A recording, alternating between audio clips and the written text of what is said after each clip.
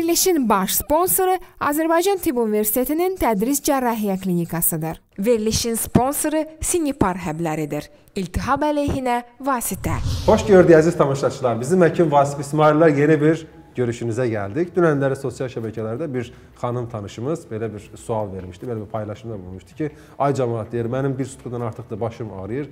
Görəsən mən nə eləyə bilərəm? Görürsüz də artıq yeni gənclik və yeni insanlar sosial şəbəkələrdə öz dərdlərini soruşurlar, amma həkimə getmək əvəzinə, amma onlar da qismən haqlıdırlar. E, kiçik bir problem kimi görürlər baş ağrısını. Biz həkim kimi bilirik ki, baş ağrısı həmişə kiçik problem deyil. Düzdür, çox vaxt e, kiçik problemdir, amma siz bunu hardan biləcəksiniz? Sözün açığı mənə də bəzən soruşurlar ki, doktor, mənim başım ağrıyır. Elə bilirlər ki, mən burada televizorda e, bu proqramı apardığım üçün gərək tibbdəki hər şeyi çox gözəl bilirəm, amma yadınızda qalsın ki, biz həkimlər e, bir şeyi çox yaxşı bilirik, öz yerimizi çox yaxşı bilirik. Ona görə də bu gün baş ağrısı və ümumiyyətlə digər nevroloji problemlər haqqında biz sizə Baku Medical Plaza Klinikasının doktoru, doktor Nərgiz Ağayevə dəvət edirik. Xoş gəldiniz. Xoş gördük. Təşəkkür edirik dəvətiniz üçün. Çox sağ olun. Nərgiz Ağayeva, nevropatoloq. 2001-ci, 2007-ci illərdə Azərbaycan Tibb Universitetində təhsil alıb. 2007-ci, 2008-ci illərdə bir saylı Respublika xəstəxanasında nevrologiya üzrə internatura keçib. 2009-2013-cü illərdə Türkiyə Respublikasında Hacettepe Universiteti Tibb fakültəsində nevrologiya üzrə uzmanlıq keçib. 2013-cü ildə Hacettepe Universitetində elektro ensefaloqrama və elektromioqrama laboratoriyasında uzman həkim olaraq çalışıb. 2014-2016-cı illərdə Medistyle Hospitalda uzman nevropatoloq vəzifəsində fəaliyyət göstərib. 2016-cı ildən Baku Medical Plaza mərkəzi filialında uzman nevropatoloq olaraq fəaliyyətini davam etdirir. Bir neçə elmi məqalənin müəllifidir. Ölkə daxilində və xaricində keçirilən konfranslarda çıxış edib. Nərgiz xanım, e Bir baş ağrısı 24 saatdan artıq çəkə bilərmi həqiqətən? Baş ağrısı 24 saatdan artıq çəkə bilər və e, çox vaxtda çəkir. E, hansı baş ağrıları daha çox miqren baş ağrıları belə uzun çəkə bilər. Hətta 72 saata qədər çəkir. 72 saatdan uzun da ola bilər ki, biz buna status deyirik. Yəni miqren statusu deyirik. E, 72 saata qədər çəkə bilər daha çox. Miqrenə başlamışkən miqrendən danışaq istərsiniz. Miqren çox sıx görünür. Hətta e, belə deyək, statistikaya görə hər 4-5 qadından birində miqren xəstəliyi var. Kişilərdə daha azdır. 10-12 kişidən birində. Pendirlə əlaqəsi olduğunu söyləyirlər. Bəli, vardır. Çox birbaşa əlaqəsi yoxdur, amma e, miqreni tetikləyən faktorlarımız var. Yəni e, nələr olanda miqren ortaya çıxır? Ən çox başda gəlir birinci e, külək, soyuq. Məsələn, qadınlar çox sıx e, şikayət eləyərlər miqreni olanlar. Saçımı yuyub e, qurutmasam, yaxud da ki, çox yaxşı qurutmasam və yaxud da ki, saçımı e, yumuşdum, 3 saat sonra dışarı çölə çıxdım, yenə başım ağrıdı. Bunlar daha çox miqrenli insanlardır. Çünki e, soyuq, külək miqreni başlata bilər. Yuxu rejiminin pozulması, e, nələrdir? E, məsələn, miqren xəstələrinin çox tipik ifadəsidir ki, mən e, çox məsələn bazar günü gec dursam belə, deyək ki, normalda hər gün 8-də dururam. E, bu gün 2 saat gec durdum, başım ağrıyacaq. Çünki miqrenin sevdiyi şey rejimdir. Yəni eyni saatda yatıb eyni saatda qalxılması, yuxunun azalması və ya uzadılması, onlar da miqren başlada bilər. Eyni zamanda dediyiniz kimi yeyəcək yeməklərlə də bir əlaqəsi var. Daha çox pendirlə olduğu söylənilir, amma o bütün xəstələrdə keçərli deyil. E, şərab, qırmızı şərab çox e, tetikləyən faktordur. Ən çox miqreni ortaya çıxaran faktorlardan biridir. Amma daha çox e, rejim, rejimin pozulması belə deyək ki, bir bir şəkildə bəhanə axtarır atakın ortaya çıxması üçün, tətikləməsi üçün. Yəni bu aura üçün. deyil də, yəni aura artıq başlayacaqsa gəlir. Aura miqrendən öncə olan, yəni nə, nə zaman olur? Deyək ki, e, aura varsa ən qısa zamanda, maksimum 1 saat içində miqren gələcəkdir. Hətta auradan öncə bir prodromal əlamətlər dediyimiz əlamətlər də olur. Bunlar nədir? Məsələn, e, miqrenli xəstələr deyərlər ki, bəzən mən baş ağrıdan öncə biraz belə kaprizin olur, tez küsəyən olur, biraz xarakter hətta belə dəyişə bilər e, fərqli əlamətlər olur. Ondan sonra aura gəlir. Aura olması e, mütləq deyil. Məsələn, statistikaya görə bir 10-15% xəstələrdə aura olur. 20-80%-ə yaxın xəstələrdə aurasız miqren olur. Auralı miqren daha az görünür, amma daha biraz ciddi bir növüdür, belə deyək. Nə olur? O sırada daha çox görmə auraları olur. Məsələn, gözün bir tərəfindən xəstə ya deyək ki, sağ tərəfini görmür və yaxud da işıqlı işıq çaxmaları olur, işıq parlamaları olur. Hətta belə bir şey. Bunlar yəni işıqdan da qaçırlar. İşıqdan qaçırlar. E, biz belə bir əlamətdən birisi əlamətə sıçrayırıq. Bunlar nələrdir? Çünki miqren xəstələrinin əlaməti e, nədir? Bu ağrı deyək başladıq, ağrı da başladı. Ağrı başlayan anda əslində bu e, bizim beynimizin özündə ağrı reseptoru yoxdur. Beynimizi əhatə edən qişada, meningeal qişada da ağrı reseptoru. Miqren zamanı da o e, meningisimiz deyək, beyin qişamız çox qıcıqlanmış vəziyyətdə olur. Yəni beyin əslində belə bir torbanın içərisindədir. Torbanın içindədir. O, o torba ağrıyır. O torba ağrıyır. Əslində biz beynimiz ağrımır, amma bizim beyin kimi hiss edilir. Çünki beyni bütün əhatə elədiyi üçün və çox şiddətli ağrıyır. O ağrıdığı üçün, yəni meningeal qışa qıcıqlandırdığı, qıcıqlandığı üçün e, işıq, səs, eyni zamanda bunlar bizi çox qıcıqlandırır. Yəni e, ürək bulanma çox şiddətli olur. Miqren xəstələri çox e, tipikdir bundan şikayət edirlər. Ürək bulanma olur. Bunlar əslində o beynin, beynin meningeal qışasının qıcıqlanması. Hətta e, qıcıqlanmadan çox biz bunu qıcıqlanır da ifadə etdiyimiz belə deyək, e, infeksiyasız yara deyə bilərik. Yəni bizim inflammasyon dediyimiz bir orada əslində mikrobsuz bir yara. mikrobsuz bir yara kimi e, olur əslində o miqren sırasında. Çünki xəstələr hətta deyir ki, elə bir yara zonklayan, zon, zonklayan kimi hiss edirəm. Başım aşağı əyəndə sanki başım düşəcək kimi, axır kimi hiss edirəm. Əslində bu bənzətmə deyil. Gerçəkdən belə bir hiss edirlər. Çünki orada bir yara vardır. O ağrı sırasında bir yara vardır və o öz-özünə gələr və e, dərmanla və yaxud da müalicə verilməzsə 3 günə qədər dediyimiz kimi sürə bilir və yavaş-yavaş o yara deyək sakitləşir. Amma e, burada problem bunun təkrarlanmasıdır və sayıdır. E, nə bizdə problemdir? Yəni bizim e, hədəfimiz deyək ki, e, xəstə əgər ayda 3-4 ağrısı olursa və yüngül şəkildə, yüngül ağrı keçirsə, bu bizim o qədər e, dəhşətli deyil. Nəinki, məsələn, biz bizə müraciət edən xəstələrimizdən e, mən görürəm ki, çox vaxt həkimə müraciət edənə qədər, yəni 15-20 gün ən az ağrı e, çəkirlər xəstələr və bu da çox vaxtı elə ayda 10-15 ağrı şəsi deməkdir ki, e, bizim icazə verdiyimiz rəqəm 4-5-dir. Çünki əgər hər ay mütəmadi uzun sürə 4-5-dən daha çox ağrı kəsici istifadə edirsə xəstə, birinci sizin sahəniz ən önə gəlir. Yəni e, bir müddət sonra dializin qarantisi olur hardasa. Bundan başqa bizim sahəyə də Hələ çox dializdən əvvəl belə yekə bir şişirlər. Yəni ondan sonra Aynən. Yəni onu məsələn xəstələr çox hesablamır. Ağrımız keçdi deyə. Amma əslində o e, burada başqa orqanlarımız var. Əlbəttə ki, mədəyə zərər göstərir, başqa yerlərə zərər Ürəyə göstərir. zərər göstərir. Ürəyə zərər göstərir, amma bir digər tərəfdən də bizim miqrenimizi biraz daha xronikləşdirmiş olur. Yəni xroniki miqrenə çevrilmiş oluruq ki, o da əvvəlki miqrendən daha çətin müalicə olunur.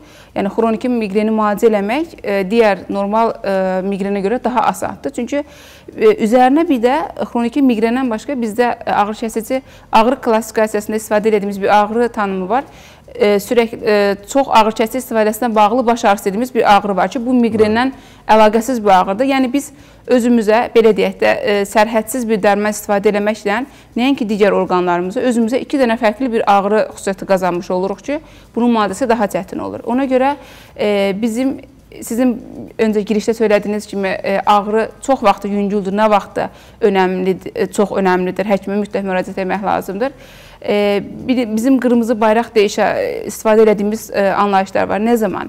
Əgər baş ağrımız yeni başlayıbsa və gedərək artırsa, bu çox ciddi bir, məsələn, bilirik, subraxnoid qanama və digər qanamaların əlaməti ola bilər. Beyində həcmli törəmələr ola bilər ki, ağrı şəklində ortaya çıxa bilər. Bu belə bir əlamətlər varsa, yəni ağrımız yeni başlayıb qısa müddətdir və sürətlə artır, günlərdir gedərək artır. Yanaşı olaraq qızdırma varsa və çox dirənci bir qızdırmamız varsa, bu meningeal qışanın yəni iltihabı bir şəkildə qıcıqlanması, meningit əlamətləri, ensefalit əlamətləri ola bilər. E, yanaşı olaraq sudurqada başlayıb, sudurqa dediyimiz el arasında e, tutmalar da başlayıbsa, e, qıc olmalar da başlayıbsa, bunlar da e, bir onun digər əlamətidir ki, mütləq həkimə müraciət etmək lazımdır. Daha ciddi bir faktor vardır deməkdir və yaxud da ağrı başladıqdan sonra xəstənin nevroloji əlamətlərində dəyişik. Bunları biz normal insanlar necə fərqləndirə bilərik? Danışığı əvvəlki kimi deyil, əlində ayağında gücsüzlük var, yerişi dəyişir. Bunlar varsa, bunlar mütləq düşünülmədən birinci həkimə müraciət etmək lazımdır. E, amma hansı ağrılarda biraz daha rahat oluruq? İllərdir ağrısı var, amma eyni dərəcədədir. E, ağrı sayı, yenə deyirəm, 3-4-ə qədərdir. Amma e, əgər hətta qorxulu bir, e, necə deyək, qırmızı bayraq dediyimiz bir xəstəlik olmazsa belə, ağrı sayımız əgər mütəmadi olaraq 5-dən çoxdursa və bu bizi çoxlu ağrı kəsici istifadəsinə məcbur edirsə, mütləq biz müalicəyə başlayırıq. Müalicələrimiz nədir? həm ağrı maddəsi veririk, atak maddəsi dediyimiz o ağrını durdurmaq bunları Necə yoxlayırsınız? Bunlar məsələn xoşlayırlar getsinlər MRT çəkdirsinlər. MRT çəkirlər, orada çıxır ki, heç bir şeyin yoxdur. Gəlirlər deyirlər ki, əşi bu həkimlər də bizi qorxuzurlar. Mən getdim MRT çəkdim, filan qədər də xərc verdim. Məndə məyərsə belə bir şey yoxdur. Yəni miqrenin diaqnozunu MRT ilə qoymaq deyilir, olarmı? haqlısınız. Hətta e, belə deyilir ki, məsələn, MRT-də miqren çıxdı deyilir, e, yanlışdır. o da bəli. Ondan sonra e, MRT-də heç bir şey yoxdur, bəs mənim niyə başım ağrıyır? Haqlı olaraq xəstə belə bir tələb eləyir. E, və yaxud da ki, əslində mən sizə deyim, xəstələrin e, mən normal, gerçək bir ağır bir miqren xəstəsinin e, desək ki, sizin beyninizdə önəmli bir şey yoxdur, o xəstə çox aqressiv ola bilər və haqlıdır. Çünki miqren ağrısı orta, yüngül ağrı deyil. Miqren ağrısı orta və şiddətli bir ağrıdır. Yəni o e, normal bizim də yorğunluqdan başımız ağrır dediyimiz bir ağrı deyil. Ona görə o xəstələr sizdə heç bir şey yoxdur demək, yəni sanki siz özünüzdən ağrımız vardır demək kimi demiş oluruq. Əslində miqren dediyiniz kimi heç bir e, aparatda deyək, heç bir e, diaqnostik üsullarla e, müayinəsi qoyulmur. Miqrenin müayinəsi klinik, anamnez dediyimiz, yəni xəstənin söhbətlə, söhbətlə e, qoyulur. Digər müayinələri biz nə zaman istifadə edirik? İstisna eləmək üçün. Bayaq dediyimiz kimi çox sürətlə başlayıb, fərqli bir əlamətləri var və yaxud da xəstənin nevroloji müayinə elədik, biraz şübhəli əlamətlərimiz var. Başqa bir xəstəlik varmı? İstisna eləmək üçün, miqreni yamsılayan bilən bir xəstəlik varmı? Onu istisna eləmək üçün istifadə edirik. Məsələn, yenə öz xəstəmdən misal göstərəcəm. E, bir xəstəmiz vardı, 2 ildir miqren kimi müalicə olunur, miqren diaqnozu qoyulub, amma məsələn xəstənin hekayəsi bizim diqqətimizi çəkən xüsusiyyətdir. Heç zaman yerin dəyişməyib. Yəni hər zaman sol tərəf olub. Çünki miqren bir tərəfli olar, sol və ya sağ, iki tərəfli də ola bilər, amma nə zamansa heç olmasa qarşı tərəfdə ağrıması lazım ki, biz biraz daha rahat olaq. Hər zaman məsələn o xəstəmizdən deyirəm, hər zaman sol tərəfi ağrıyır. Miqren xəstələri kimi onda da işıqdan, səsdən narahat olma var, ürək bulanma var. E, əlamətlər var, amma hər zaman bir tərəfdir və son zamanlar xəstə üzümün bir tərəfində keyinmə əlamətləri də əlavə olunub deyir. Hə, əlbəttə ki, biz bundan narahat olduq və MRT çəkdik, e, beyin kötüyündə e, bir çirtdə görsəndi. Yəni o əslində o üçü sinir basdığı üçün miqrenə bənzər əlamətlər ortaya çıxıb, amma yanaşı olaraq başqa əlamətlər var və yer dəyişməməsi üçün. Yəni ona görə Dediyiniz kimi e, bizə hekayə çox ipucu verir ki, nəyi yoxlayaq, necə yoxlayaq. Bunlar bizə önəmlidir. Yoxlayıb nə edirik? Deyək ki, miqren diaqnozunu qoyduq. Əgər biz xəstəyə profilaktik müalicə başlayarsak, deyək ki, xəstəyə ağrı kəsici olmayan dərmanlar veririk. Xəstənin ağrı sayı deyək ayda 10 dənə idi, ayda 3 ağrıya düşüb və daha yüngül keçirir ağrılarını. Bu da bizim üçün önəmli bir nəticədir. Həm ağrı kəsicilərin sayını azaltmış oluruq.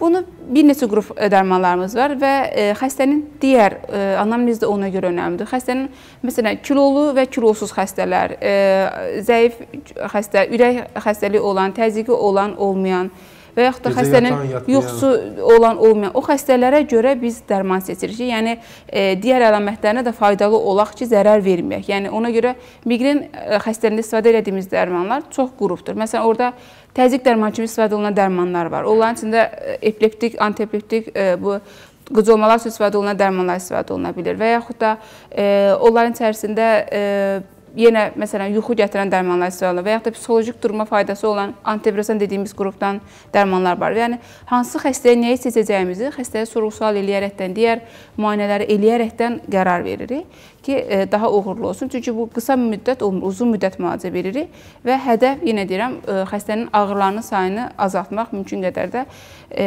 yox eləmək. Çünki Əslində çox gözəl bir şey vurğulayırsunuz.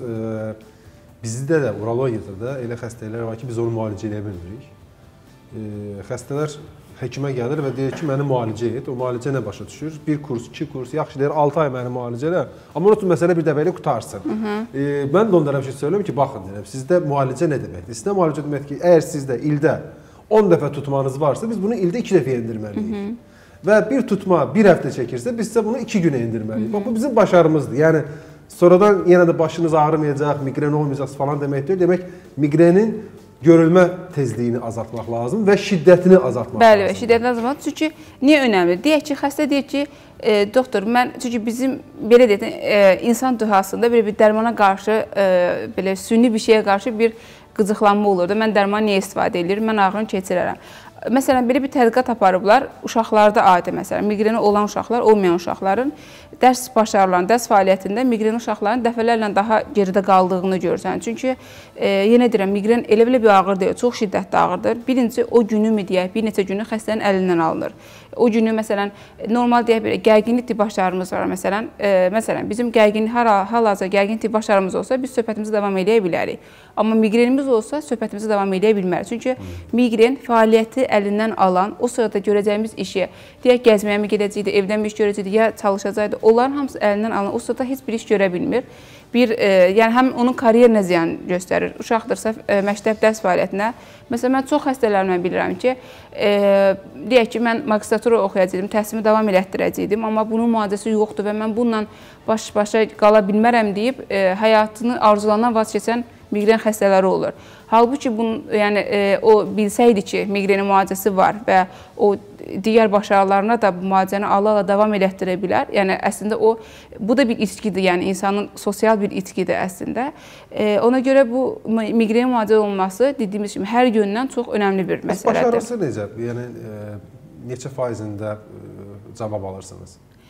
E, mən sizə belə deyim, yəni açıqcası E, dünya statistikasına görə Azərbaycanda biraz daha çox cavab alırıq. E, mən bunun səbəbini bir 3 ildir ha. burada işləyirəm. İllər fikirləşirəm niyə elədir. Mənə elə gəlir ki, indiyə qədər düzgün müalicə almadıkları üçündür böyük ehtimal. Çünki e, protokollarla təəssüf ki, çox işlənilmədiyi üçün Şimdi e, üçün kim nə gəldi verirdi. Yəni mən 2005-dən Bəli, bəli, belədir və bir də e, xəstələrin hələ də soruşduğu sual ki, doktor beyin qan dövranı yaxşılaşan dərman yazmayacaqmısınız miqren sırasında? Yəni əslində onlar niyə yazmırsınız? Bəli, bəli. Yəni onu axtarırlar, ona görə doktordan küsürlər, belə bir şeylərimiz də olur. E, amma əlbəttə ki, biz qorumağa çalışırıq e, e, prinsipimizi və xəstələrə mən izah edirəm. Çünki xəstə sonuçda həkim deyil. Onu izah etməmiz lazım lazımdır ki, bizim kimi bilsin o mövzunu e, ki, beyin qan dövranı əlaqədar bir şey deyil birinciyə. Miqren mexanizmasını izah elədik. Yəni beynin sizin o dediyiniz kimi kisənin e, qıcıqlanmasıdır. O sırada mikrobsuz yara əmələ gəlməsidir. Biz onu söndürməyə çalışırıq. İkinci də ki, yəni o dərmanlar əlbəttə ki, ayrı bir mövzudur. Belə bir dərmanlar Qərbdə ümumiyyətlə Türkiyə, bizim təhsil aldığımız Amerika, bunlar bu dərmanları qəbul eləmirlər. Çoxdan istifadə çıxarırlar. Sözünüzü kəsərəm. E, məsələn, bir dərman var. Apel adını da deyim, elə serebralizm. Avstriya buraxan bir dərmandır. Mən e, bəzən görürsən mənə etiraz edirlər ki, "Əşi, bunu almanlar buraxırlar. Bunlar özləri bilməsələr buraxmazlar." Deyirəm ki, yaxşı, sən get bir dənə Avstriyada bir dənə serebralizm yaz bir dənə insana. Görüm sənin lisenziya sənin əlində qalacaqmı? Yəni sən o dəqiqə lisenziyanı əlindən ala bilərlər. Yəni bunu Avstriya buraxır, amma kimə satır? Bizim bizim, bizim kimi ölkələr kimi. Bizim kimi ölkələrə satır. Yəni e, ki isbat olunmuş ortada hər hansı bir şey yoxdur. Və nədənsə mən anlamıram.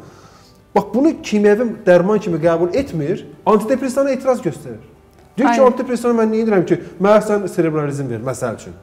Yəni siz bax bunu ə, e, necə görürsüz? Bax. Mənə gəlir olur? ki, mənə gəlir ki, bu, bu da da belə maraqlı bir mövzudur. Məsələn, mən də çox düşünmüşəm bu mövzuları. Mənə gəlir ki, birinci yəni belə adından, yəni beyin qan dövranım yaxşılaşacaq. Yəni bir tür bunun bir qarantisini alır. Yaxşılaşdırmır axı. Yaxşılaşdırmır əlbəttə ki, adından e, yola çıxaraqdan, yəni onu reklam edən firmaların reklamından yola çıxaraqdan beyin qan dövranı yaxşılaşacaq. Yəni mən nə vaxtsa e, deyək ki, insultdan, iflicdən belə şeylərdən qoruyacaq. Əlbəttə ki, belə bir şey yoxdur.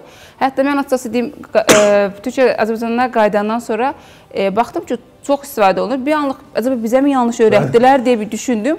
Sonra bir o konuda olan bütün məqalələri araşdırdım, oxudum, reviewları oxudum və e, çox məqalələrin nəticəsi odur ki, ən yaxşı halda zərərsizdir. Yəni e, məsələn biz xəstələrimizdən bilirəm. Doktor mən e, hər belə yayda payızda eləyirdim, bir dəfə elədim, şoka girmişdim, zorla döndü.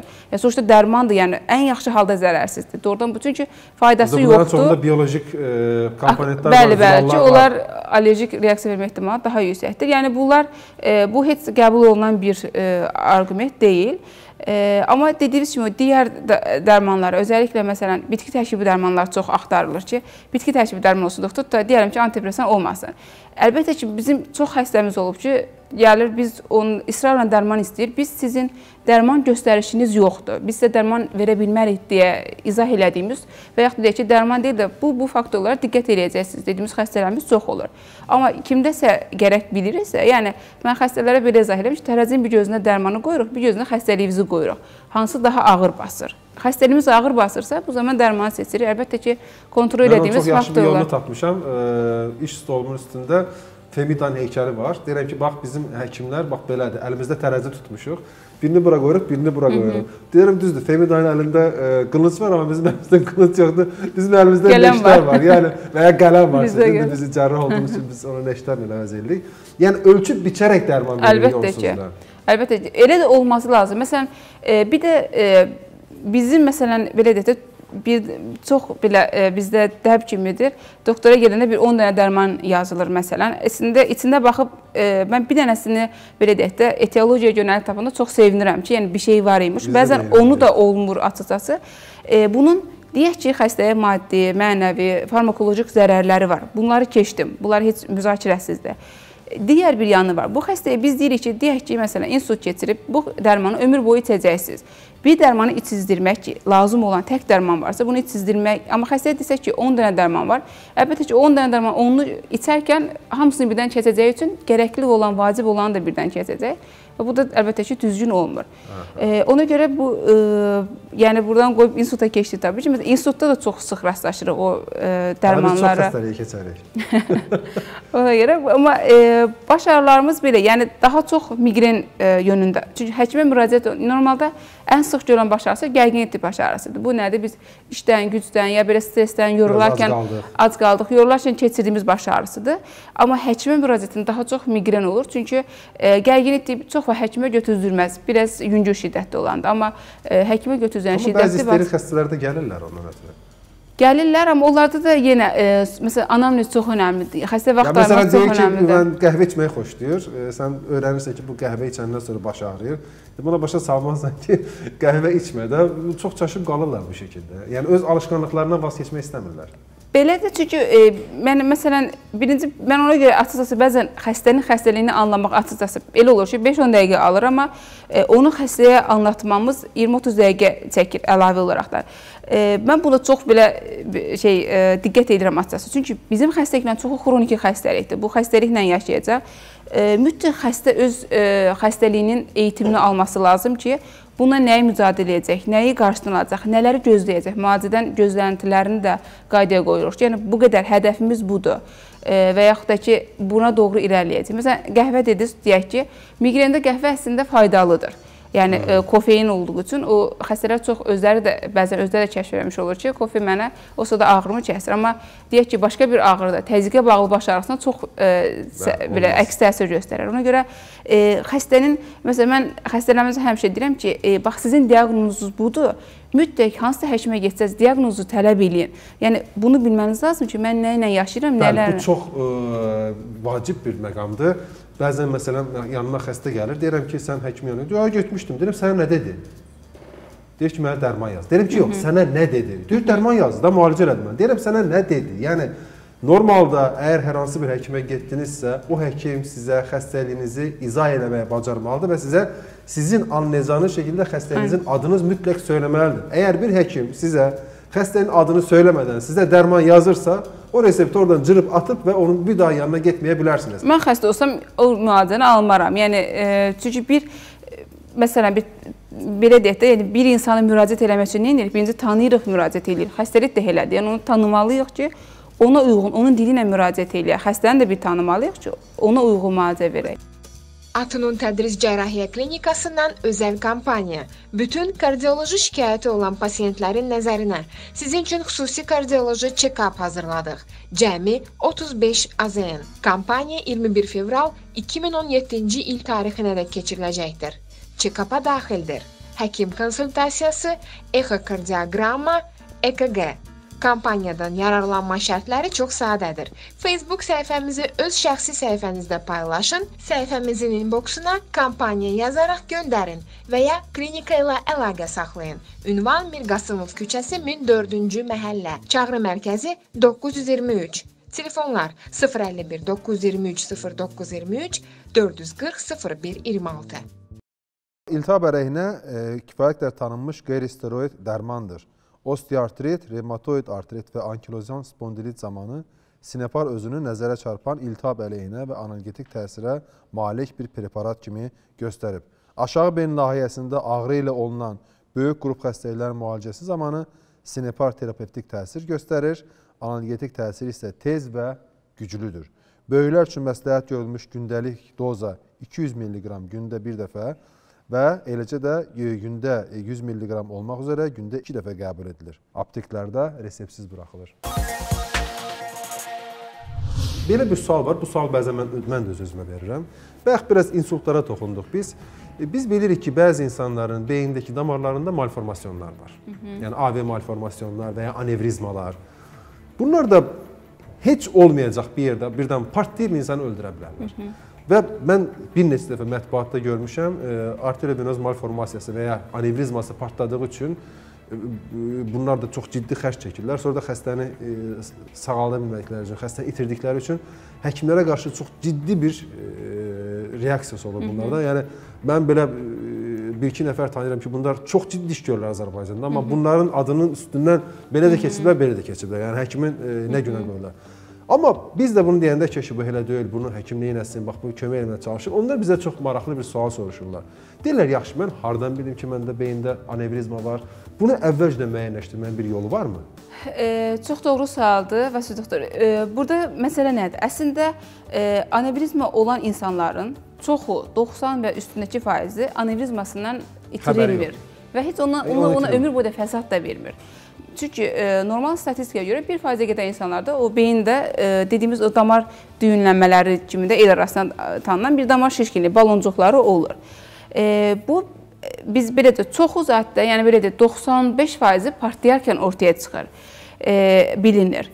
Məsələn, belə bir sual qoyulur. Hətta e, ədəbiyyatda da belə bir sual var bütün insanları tarıyaqmı? Tarama dediyimiz, yəni baxaqmı hamının damarında dəyişiklik varmı, yoxmu? Yox deyilir. Niyə yox deyilir? Çünki deyək ki, biz tapdıq bir insana, e, dedik ki, sizin beynimizdə 3 mm malformasiya var. Birinci onun e, əgər bunun həyatı mı, həyatı deyilmi? Bu buna problem yaradarmı, yaratmazmı? Hmm. Çünki onu bağlamaq da asan bir şey deyil. Yəni e, o qədər çox çətin şey. və o sırada ə, çox itirilən xəstələr olur. Belə ə, çox böyük faizlə itirilən xəstələr olur. Ona görə ə, ağrımaz başı qurcalama ə, bir qurcalamaq da çox bir ə, riskli bir anlayışdır. Yəni bizim mən Azərbaycan üçün demirəm. Mən təhsil aldığım Hacettepe Universitetində bizim e, girişimsel radiolo neuroradioloji e, ekimiz vardı. Orada bütün bu girişimlər, ən çətin girişimlər deyək ki, orada olunurdu. Amma Oradakı təcrübəmizdən bilirəm ki, və xəstələr yatırılırdı.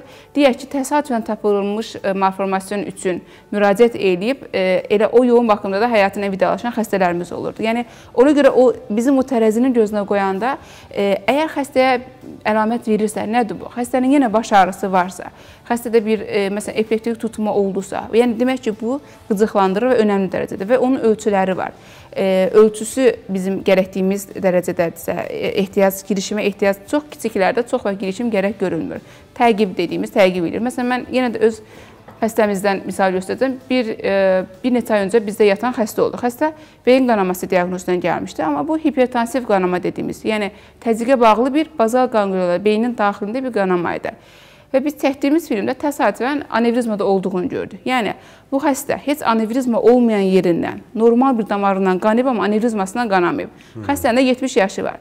Məsələn biz onu da düşündük. Buna nə edək? Necə tədbir quraq? O anevrizmaya toxunaqmı?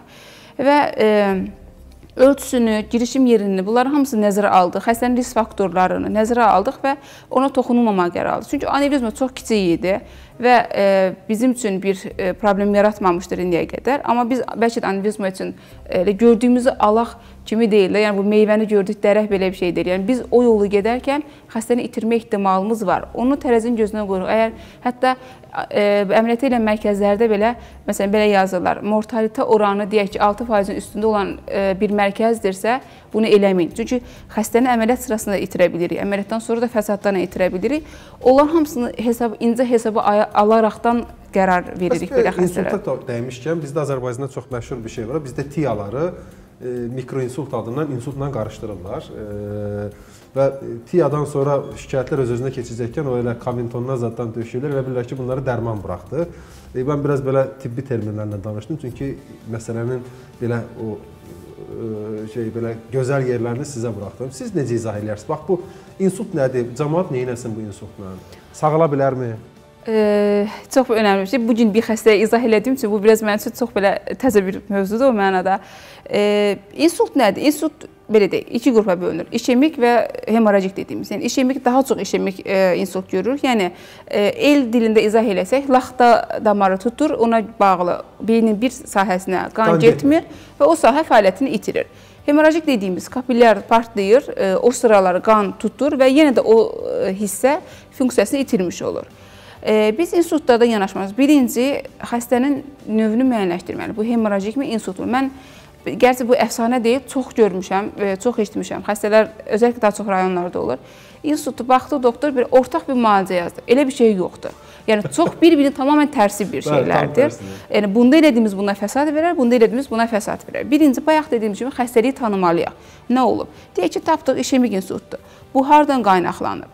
Ürəkdənmi atıb, yoxsa damardanmı atıb? Yeni bir evə göndərdiyimiz bir xəstə var məsələn. 3 dəfə e, dalbadal insult keçirdiyi üçün biz və yerindən də baxdıqca xəstənin boyun damarında e, daralma var. Halbuki xəstənin fibrilyasiyası da var idi. Yəni biz belə robotik olaraq yanaşsaydıq, kapdən deyə ürəkdən atmış deyə düşünə bilərdi, amma e, həqiqətən yəni ürəkdə at, e, atrial fibrilyasiya var. Halbuki bu da bir tromboz səbəbidir, çox ciddi bir tromboz səbəbidir, amma özdə çox insanlarda yayğındır yəni. Çox insanlarda və yayğındır və biz amma nəyə görə? Yəni e, məsələn bu klinisyen olaraq bizim şansımız e, belə deyək də, yəni bizə verilən təhsil yerində bizim bir hocamız var Türkiyədə. Deyirdi, e, radiologiyanı öyrənməsəz, radioloqun e, qulu olarsınız. Belə bir şey. Çox mənim onu Azərbaycandaykən çox belə qarşı. Çünki biz e, beyin MRT-sinə baxarkən onun etioloji haqqında bir fikir əldə edirik. E, zədələnmələrimiz hardadır? Problem harda olur? Dediyiniz kimi. Bəzən rapora baxırlar həkimlər. Cavaba baxırıq məsələn. Cavaba görə deyirik ki, işemik insultu burdadır. Bu bizə çox, yəni həm xəstənin klinini biz bilirik, həm xəstənin beyninin e, MRT-nin məlumatlarına görə biz deyirik ki, hə, falan yerindədir. Daha çox etiolojik buranı düşünürəm və ona görə də e, instrumental müayinələrlə də e, qoyuruq. Məsələn, o xəstəmizdə biz diaqnozunu qoyduq ki, böyük yuxarı arteriyasında tromboz var. Bizim e, əməkdaşımızdan, kardioloqumuzdan biri o damar açıldı. Ora stent dediyimiz, yəni damar dəyişikliyi oldu və xəstə 3 dəfə, bir e, 10 gün içərisində 3 dəfə insult keçən xəstənin belə bir riskinin böyük faizdən qarşısını almış olduq. Yəni burada etiologiya müəyyənləşdirmək önəmlidir. Bəzən xəstə bu gün gələn elə xəstəmdən məsələn, xəstənin danışığı pozulub, kiçik bir insult sahəsi keçirib. Xəstə izah edir, bunun birinci bizim burada əsas faktorumuz təkrar, çünki insult təkrarlayan bir xəstəlikdir. Bunun təkrarlanmasının qarşısını almaq. Necə qarşısını alacağıq? Yəni etiologiyasını tapmalıyıq ki, hardan qaynaqlanıb, yəni, nədən, nədən yaranıb ki, o nədəni aradan götürmək üçün. Yoxsa e, biz bunu bir dərman verək, bu düzəlsin, belə bir şey deyil açıqcası. E, və xəstələr də deyir ki, dediyimiz kimi bu dərmanları içdik, yaxşılaşdıq. Yaxşılaşdıran onun öz orqanizmidir, bizim öz orqanizmimizdir. Ölən toxumanın funksiyasını, yəni elə yaradılmışıq ki, digər ə, e, tərəflər qismi olaraq almağa başlayırlar və deyək ki, elə bir, yəni o hissəyə kömək eləməyə çalışırlar. Və bunu bir müddət reabilitasiya edilmiş müddətdə əlbəttə ki, biz də ə, e, kömək edirik, medikal, daha çox fizioterapiya bu üsullarla biraz daha sürətləndirə bilirik. Amma burada ən önəmli bizim insanların bilmək istədiyim bir önəmli faktor bunun təkrarlanma ehtimalı çox yüksəkdir və ə, e, bunun qarşısını almaq lazımdır. Bəs bu ə, TIA-nı necə izah eləyərsiniz? Yəni Buna mikroinsult da deyirlər. Deyir, bizim ən dəyərli bir insultumuzdur. Çünki bayaq dediyimiz kimi ölən toxumanın bərpası çox çətin olur və çox e, çeşməkeşli bir xəstə xəstə yaxındır. Dia keçici bir atakdır. Yəni şanslı bir qrupdur. Tanıyan olsa, düzün həkimə müraciət edən olsa, bir xəbərdarlıq eləyib geriyə çəkilmiş bir formadır. Bunların ən az 5-dən biri ilk 1 il ərzində böyük bir insult şəklində önümüzə çıxır. Yəni biz bu TIA dediyimiz keçici e, işemik insult mərhələsində xəstəni tanıyarsaq, o dediyimiz nədəni taparsaq, aradan götürərsək, onu böyük bir fəlakətdən, həyati fəaliyyətdən, iflic qalmaqdan qurtarmış oluruq. Bunlar nələrdir? Təbii ki, hər adam, e, məsələn, deyək ki, mən e, biraz unutqanlıq oldu, məndə TIA ola bilərmi? Xeyr, onun xüsusi əlamətləri var. Nələrdir? Yəni, e, bizim damar sahəsinə uyğun bölünüb olar. Deyək ki, mənim bir neçə dəqiqədən, bir neçə saata qədər sürə bilər. Bir tərəfim e, heç hiss eləmirdim ya da çox az hiss edirdim. Toxunuram, sağ tərəfimi az hiss edirəm, solu düzgün hiss edirəm məsələn. Və yaxud da bir neçə saat kəkələyərək danışdı, danışa bilmədi, anlamadı, fikrini düzgün ifadə edə bilmədi. Və yaxud da ə, e, məsələn beyin bazillər tərəfdə olanda, beyin sapı tərəfdə olanda ürək bulanma oldu, keçdi. İki görmə oldu, keçdi. Və frontal Müvazinət... başlayır söyüş söyməyə. o da ola bilər, davranış pozulmaları da ola bilər. E, və yaxud da ki, dediyimiz kimi müvazinətini xəstə bir neçə gün olmuşdu əslində. Məsələn biz geriyə yönəlik sorğulayanda belə bir şey olmuşdumu? Bir il qabaq olmuşdu belə bir şey. Biz çox önəmsəmədik çünki xəstə düzəldi. Düzəlir əlbəttə ki. Yəni o bir xəbərdarlıq edib geri çəkilir. Amma o xəbərdarlıq mərhələsində xəstəni taparsa, onlar bizim üçün çox qiymətli olurlar. Bizim vaxtımız az qaldı. Mən sizə tez bir şey, sizinlə söhbət çox maraqlıdır. E, bir şey soruşmaq istəyirəm. Bax bu tiyalar çox vaxt bizim boyun damarlarındakı darlıqlardan meydana gəlir. Bəzən fibrilyasiyadan meydana gəlir. Boyun darlıqlarındakı e, ultrasəs müayinəsini, yəni Doppler müayinəsi nə qədər effektivdir? Bunlar mütləq e, tomoqrafiya, tomoqrafiya altında angiografiyaya getməlidirlərmi? E, Yenə dediyim kimi birinci bunu xəstəyə görə seçirik. Xəstə e, əgər biz o xəstənin e, tiya keçiribsə məsələn və e, xəstənin anlatdığı əlamətlərdən digər yerləri yoxladıq, biz onun boyundan olduğunu düşünürüksə, məsələn, EMT-də çox kiçik bir insult var, işemik sahə. Biz baxırıq ki, fərqli yaşlarda, amma eyni damar sahəsinə, fərqli yaş dediyimiz bir gün sonra, üç gün sonra aradadır, amma eyni damar sahəsindəndir. Doppler bizim üçün diaqnostik bir üsuldur, amma e, belə qızıl standart deyil. deyil. Əgər biz klinik olaraq, güclü olaraq ondan düşünürüksə, dediyimiz kimi anjiografiyaya qədər gedirik. Amma yox, e, biz onu tarama üçün mən daha çox ürəkdən düşünürəm klinik olaraqdan. Fibrilyasiyada tapmışıq və xəstənin bütün dörd dörtlük bunu qarşılayırsa, Doppleri normalkən daha anjiyo üzərinə getmərik. Çünki burada yenə də həkimin fəhmi, klinik olaraq dəyərləndirilməsi bunlar önəmlidir. Çox təşəkkür edirəm həkim. E, əziz e, tamaşaçılar, siz də gördüyünüz kimi e, hər kəsin belə çox yaxşı məlumat sahibi olduğu insult haqqında, eləcə də miqren haqqında, baş ağrıları haqqında o qədər detallı məlumat vermək mümkündürmü? Yəni mümkündür ki, yəni mənim kimi oxumuş bir həkim belə bu sözləri anlamaq üçün bir 3-4 gün gərək mən bunu özüm sinirəm. Siz normal vətəndaşlar bu işi yaxşı başa düşməyəcəksiniz. Ona görə də çox kiçik probleminiz olsa belə baş ağrısı və ya kiçik insultlar, e, mikroinsult deyə keçirdiyiniz hadisə, keçirdiyiniz hadisələr olsa belə yenə də işini bilən həkimlərə, nerpatoloqlara müraciət eləyin. İnanın ki, özünüzü bir çox şeydən qoruyarsınız və o zaman sizin həm təbabətə olan etimadınız artar, həm də ki, xoşbəxt olarsınız. Xoşça qalın. Atunun Tədris Cərrahiyyə Klinikasından özəl kampaniya. Bütün kardioloji şikayəti olan pasiyentlərin nəzərinə sizin üçün xüsusi kardioloji check-up hazırladıq. Cəmi 35 AZN. Kampaniya 21 fevral 2017-ci il tarixinədək keçiriləcəkdir. Check-up'a daxildir. Həkim konsultasiyası, ekokardioqramma, EKG, Kampaniyadan yararlanma şərtləri çox sadədir. Facebook səhifəmizi öz şəxsi səhifənizdə paylaşın, səhifəmizin inboksuna kampaniya yazaraq göndərin və ya klinika ilə əlaqə saxlayın. Ünvan Mirqasımov küçəsi 1004-cü məhəllə, Çağrı mərkəzi 923. Telefonlar 051 923 0923 440 0126. Nano naftalan plast yayılan kütlənin əsas təsir edici maddəsi naftalan yağının 10 faizli nanokapsullu e, məhlullarıdır. Əlavə köməkçi vasitələrdən də istifadə olunmuşdur ki, bunlar şam ağacının kilikəsi, buğda səmənisi, təbii kauçuk, susuzlaşdırılmış lanolin, e, çili bibərinin qatı ekstraktı e, bunlara daxildir. Plaster yapışdırmaqdan əvvəl dərinin ağrılı hissələri spirt və ya istənilən vasitə ilə silinir və daha sonra qurudulur. Plaster qoruyucu qabıqlardan soyularaq dəriyə yapışdırılır və hamarlanır. 48 saat ərzində saxlanılır. Yandırma və qıcıqlanma olarsa, plastır vaxtından əvvəl soyub, yerinə nəmləndirici mələm çəkmək lazımdır. Eyni zamanda lazım gələrsə, yerini sabun və ya lasyonla yumaq olar. Hamiləlik və süd verilən zamanı istifadəsi qadağan deyil. Əks təsirləri, əgər plastiklərə qarşı hiperestaslıq varsa və ya allergiya varsa, o zaman müəyyən reaksiyalar mümkündür. Apteklərdə resepsiz buraxılır.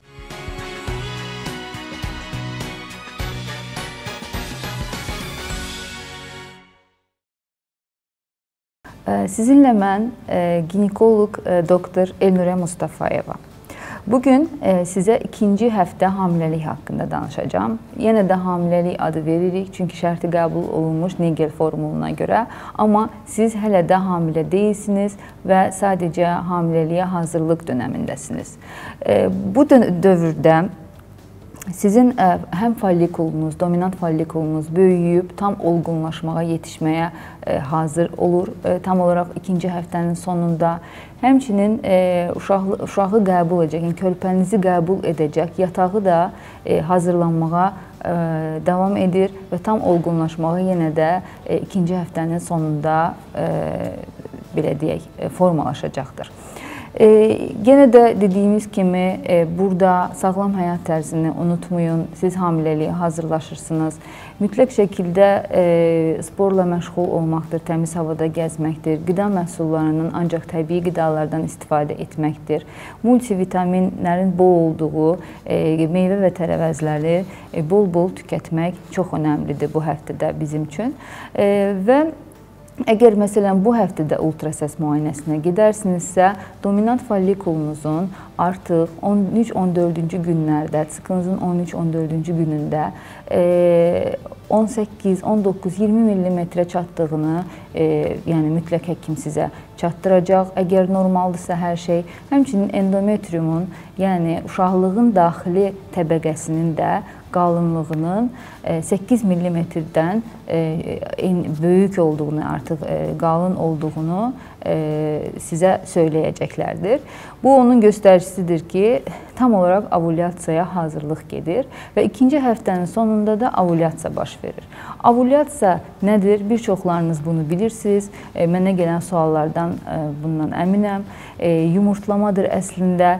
Yəni sağ və ya sol yumurtalıqdan birində hər ay yetişən e, və seçilən e, belə deyək, follikul e, divarında çatlama baş verir və follikulun daxilində olan yumurta hüceyrə ətrafındakı maye ilə bərabər qarın boşluğuna düşmüş olur və bilirsiniz ki, hər bir xanımın normal belə deyək, fiziologiyası, normal anatomiyası olan xanımın mütləq şəkildə iki yumurtalığı varsa, iki dənə də uşaqlıq boruları vardır. Uşaqlıq boruları burada ancaq körpü, yəni ötürücü funksiyanı daşıyır və belə deyək də, əgər yumurta hüceyrə qarın boşluğuna düşürsə, e, burada gördüyümüz kimi uşaqlıq borularının uclarında olan, buna fibriya deyirik biz, e, meduzanın ayaqları kimi hərəkət edərək o yumurta hüceyrəni özünə e, cəlb eləyir və belə deyək, borunun içərisinə ötürür. Və kişi spermi ilə spermatozoid hüceyrəsi ilə tam olaraq bu hissədə, yəni borunun ucunda yumurta hüceyrə E, spermatozoid hüceyrəsi ilə görüşür və birləşir. Buna biz artıq döllənmə deyirik. Biz bunu yaşayırıq, e, belə deyək, hamiləliyi, şərti hamiləlik ikinci həftəsini qəbul etdiyimiz ikinci həftənin sonunda, yəni hardasa 14-cü gündə. Bundan başqa qidalanmada dediyimiz kimi qidalanma kalsiumu məsələn bu həftələrdə zəngin qidalar qəbul etmək lazımdır. Yəni süd və süd məhsullarını pendir və kəsmik şəklində də qəbul edə bilərsiniz, tükətə bilərsiniz. Fol turşusu yaşıl tərəvəzlərdə və məsələn ispanaqda mövsümə görə yaşıl tərəvəzlərdə zəngin olur. Omega 3-ü qoz, balıq və ispanaqdan ala bilərsiniz həmçinin.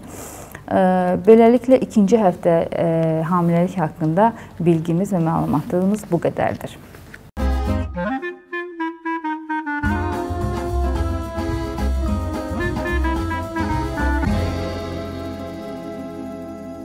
Salam, xoş gördük əziz və hörmətli tamaşaçılar. Bizim həkim verilişinin sağlam qidalanma hissəsinə xoş gəldiniz. Mən doktor Fuad sizlərə bu gün də hər zaman olduğu kimi çox faydalı məsləhətlər verəcəm və bu faydalı məsləhətləri də gündəlik həyat tərzinizdə tətbiq etməyə çalışacaqsınız. Mütləq istifadə edin.